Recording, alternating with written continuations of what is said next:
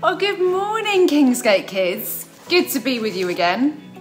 Well, Cora and Flora have moved forward a bit in their search for the king of the jungle. But now they're faced with another challenge. Just when it seems like they might be getting somewhere, something else is in the way. We'll find out how they did next week. What do you think this week's colour gem is for the key? What colour was the eagle in the story? That's right, he was golden, wasn't he? For the moment, let's see what the eagle has to say. In their manuscript this week, they learn that God is holy, but we can still come close to him. Let's see what the manuscript says. Holy, holy, holy is the Lord. The whole earth is full of his glory. Wow. What ho! Oh, hi! Thank you for coming here from the Eyes Higher jungle. Must have been quite a flight for you, Mr. Eagle. Mere flap of a wing, no trouble at all. Mind you, if I'd still been stamping and stumbling around on the ground, it would have taken me ages. Well, that's right, yeah, I think it would have done. Yeah, what, what were you doing stomping around on the forest floor? Well, it was my fault for listening to the snake, you see. I had made a mistake and crashed, so I thought I wouldn't be able to fly anymore. Well, I had to rest for a bit to get better, but I let the snake tell me I wasn't able to fly anymore, or worthy to fly. He told me I had to let everybody down, and I couldn't go back to where I belonged. Dear, where, where did you belong? In the great and glorious sky. You see, I am made to fly, but the snake told me I had blown it and I couldn't go back.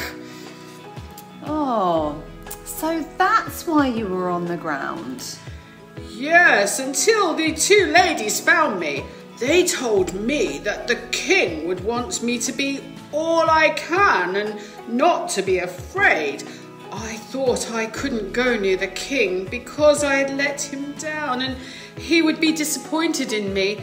Not true. He is actually very approachable.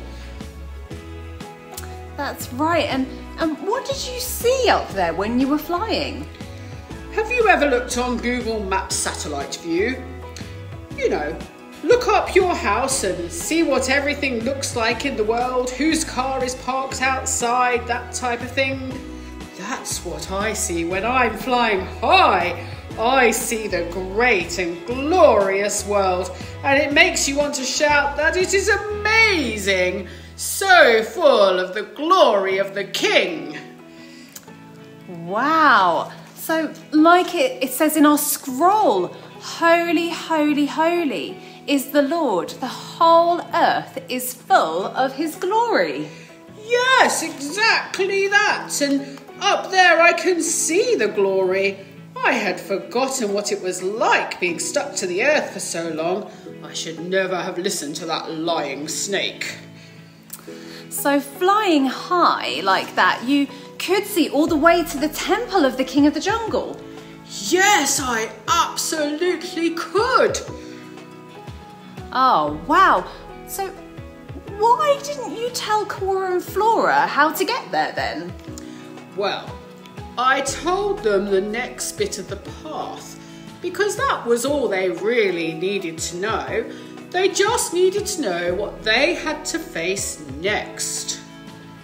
Hmm, I see. Well, thank you, Eagle. No problem. Ah, so what have we learnt from the eagle? Let's have a look.